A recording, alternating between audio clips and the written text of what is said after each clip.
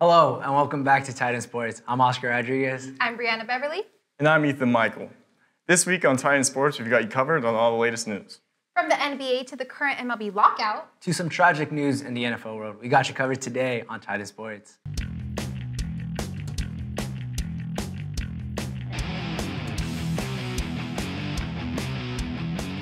Kings player Alex Len and Toronto Raptors player Svi Mikhailiuk the only two Ukrainian players in the NBA, have spoken out about the crisis in Ukraine.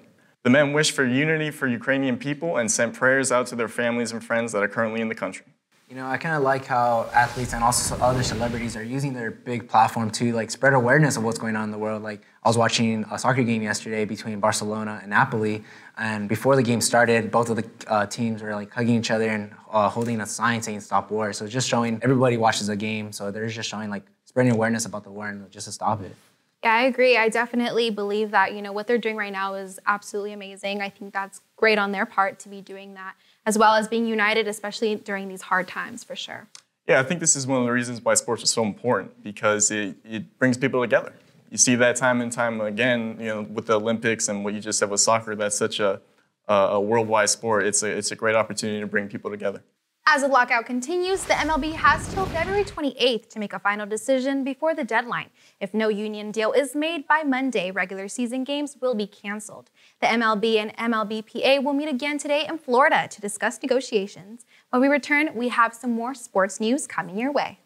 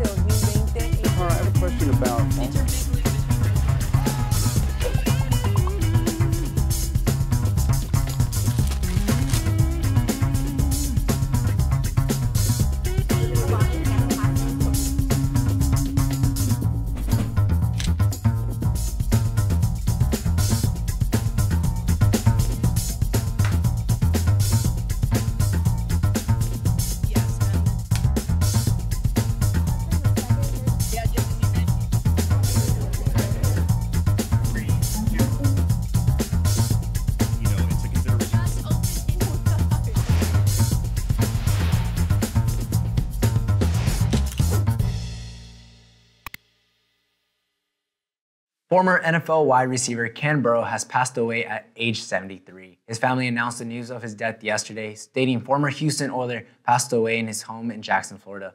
Burrough was a two-time Pro Bowl wide receiver during his time with the Oilers and led the NFL in receiving yards in 1975.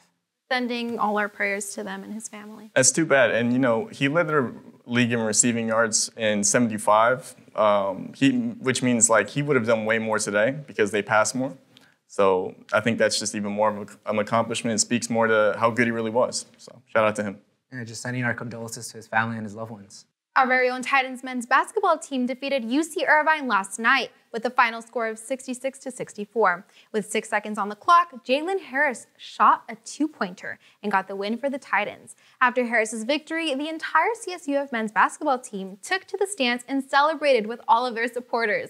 I absolutely loved it. I actually did not, unfortunately, wasn't able to go to the game, uh-huh. but I saw a lot of, you know, Instagram stories all over and I was like, I wanted to be there. Like, you know what I mean? It was uh-huh. an exciting time and um, definitely good for the Titans. Congratulations, Titans. I went, actually went to the game yesterday. It was it was crazy. You know, it was it was totally a close game. Um, they were down for like 10 points, uh, Fullerton around like five minutes, so it was a close game. But I was, I was good that they came back and got, got the win. Yeah, I need to go, man. Like I, have been to a couple um, women's basketball game, uh-huh. uh, but I've been meaning to go to men's as well. Uh, when's the next game? Do you guys know? I, believe it's tomorrow. Yeah. At UC San Diego. So okay, okay. Definitely stay tuned. I mean, if you're in the San Diego area, why not go? You know, support your Titans.